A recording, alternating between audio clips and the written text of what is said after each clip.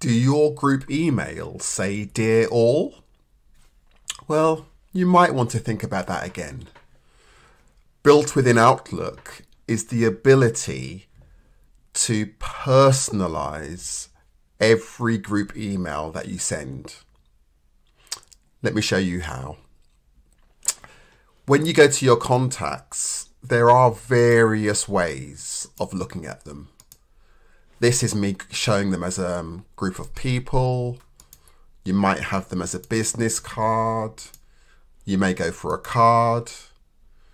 You've got a phone. But the one we're asking you to do is to look at your contacts as a list. The next thing to do, why don't we start selecting a few people that we want to send the email to. So I'm going to click on Grey Screen, Bill Black, Betty Blue, and just select a number of people that you want to send the message to. This is looking pretty good.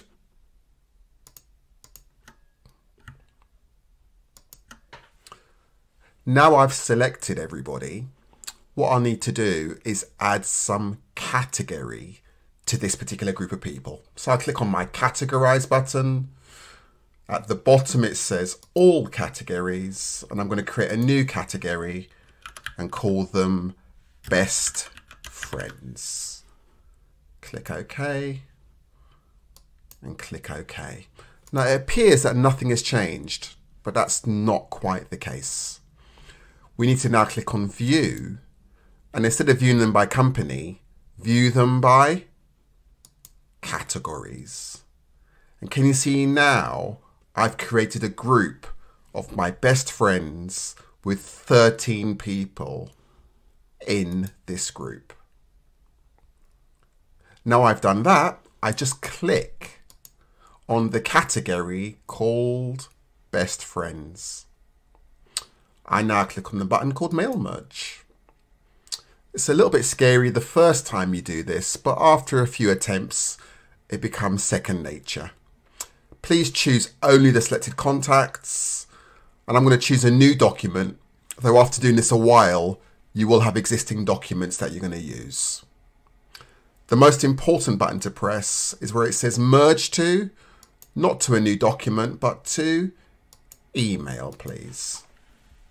So I'm going to call this email, I like your company. Now when I press OK, it will actually open up Microsoft Word. The first time this happens, it's a bit confusing. Let's type the message. So dear, then we click on the field called insert merge field and it's now taking me back to the details in Outlook. So I'm going to say dear first name. Click on the here. Your company is amazing. Now what I need to do now is add a signature in. So I'm going to now go to my mail. Click on new email and just copy my signature.